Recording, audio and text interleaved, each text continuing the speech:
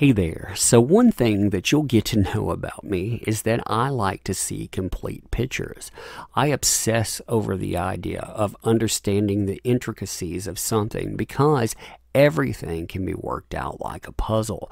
You can understand a company's finances, their motivations, their practices, experience, the internal and external workings. It's all there somewhere. Now, within that, I really like looking at employee experiences. Now, granted, when you look at these, you have to take one thing into account, and that's the fact that most people that go on the internet to write about a company that they work for, they're writing through a negative framing. They're seeing it probably because they're either mad or they've been fired or they've decided to quit. Now, within that, though, you learn certain things about a company that you would never hear spoken of outside of closed doors.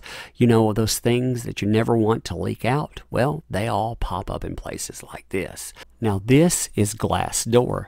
Glassdoor allows you to look at different occupations, different jobs, and what have you. And amongst all of those little gems were three reviews for Image Comics. Now, I assume there were more ratings on top of that because recommend to a friend, we had a 23%. You can't get that out of three people rating something, obviously. But we had a 2.8 uh, rating out of a five. We had 100% approval of the CEO because this person with a positive rating actually rated them. Now, looking at the uh, the positive review first, they said it was a great company to work for and with. They worked there for more than three years. They liked the people, titles, characters, but they thought it was very, I'm going to say, fast paced is what they went for for an artist, and they thought there should be more talent searches. Now, this this is newer, and I thought this was very interesting to see. No HR department former contractor, anonymous contractor. Now, with that, I thought that was interesting because you're talking about something that you think, within your mind at least, you imagine to be a larger company. The practice of not having an HR department, that is something that you see in a smaller company. You normally do not see that in something that hires multiple people or that's responsible for a lot of money. So I thought that was interesting. Reading, they don't recommend. They worked at Image Comics as a contractor for more than five years, so that's interesting. The pros, they loved working with a variety of professionals and being a part of the amazing books that they published.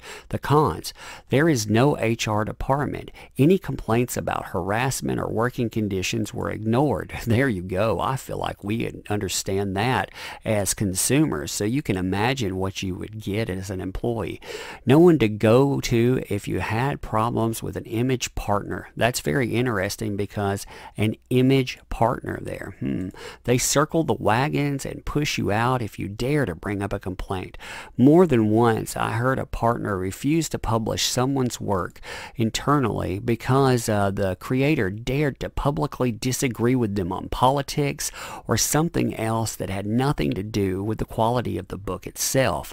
Look at that statement right there. Now, you know, like I said, people are angry when they post this stuff. Still, do you think Erik Larsen would actually publish your work if he disagreed with your politics? Do you think he would go to bat for you from what we've seen here? That's something that you have to ask about the company, and it is well within their rights to do so. They publish what they want, but still, the, the masthead of them being this thing out there, they represent all types of ideas that they come from all directions to look at this lens called creativity. Oh, no, not so much.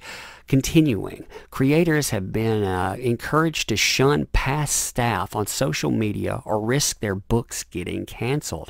The accounting is shady. Very rarely do creators get monthly statements on how their books are selling. They were never sent out while I was there unless the books were scheduled to be destroyed for not selling. That is very interesting too. That kind of practice there, that is very shady. And I've heard some interesting stuff about image. I'm not going to throw it out here. I'm going to let someone else say this stuff, but some of that really goes with this. I don't feel like I can defame something with my own words without without having something to link onto. That's why I don't say that. But I've again heard things that go with this type of idea. Now, advice to management. Get a human resource department at Image Central to cover all the TMP, Top Cow, Skybound, and Shadowline. Just because creators are contracted doesn't mean you aren't responsible for how they're being treated, and your staff, while small, is too scared to, bring any complaints up for fear of repercussions. Now, that's a very interesting public face of something when you're looking at a complaint online. When you think about that, this person, they work there, they say, for more than five years, so it's very interesting. And obviously, they're being uh, anonymous there because they don't want to throw that out straight up. Now, this says uh, sales marketing. They were a former employee, anonymous employee. They gave it a three of five, but they gave it a don't recommend, even though they had a positive outlook. So they worked at uh, Image Comics full time for more than three years. The pros were the people, fun culture and products, great benefits. Cons, long hours expected. Office politics in this small company can be stressful. Not a great place for someone to uh, with a family to work. That's very interesting too, because again, they bring up office politics, which could uh, it could go with a lot of different things. That could talk about the internal dynamic of that, but also it could leak out into that greater whole. They were talking about shunning people and whatnot in the uh, earlier review here. Well, when they're talking about that, you wonder how that links up. Advice to management. Management is in need of training on best practices for personnel management and employment law. Now that right there, if they discriminate against individuals, there are all kinds of laws out there that keep that from transpiring.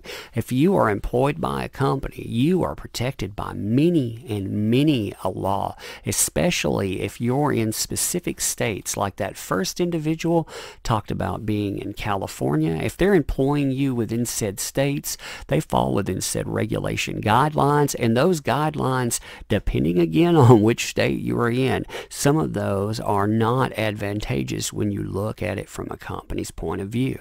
A lot of people, though, they're simply too uh, exhausted within their day to day, within that struggle of trying to maintain silence. They uh, they don't know what their rights are. But still, I think this is an interesting lens. And when I look at it on the external as a consumer, I see some of these things. I see that. I can see that image there. You know, I should see an image of a company that's uh, that's maintaining at a certain degree. I shouldn't see the image that I'm noticing now, which is a broken mechanism that does its best to double think and to uh, to back up any kind of illogical idea as long as it suits their politics. Anyway, I wanted to throw this out there because I found it interesting. Thanks.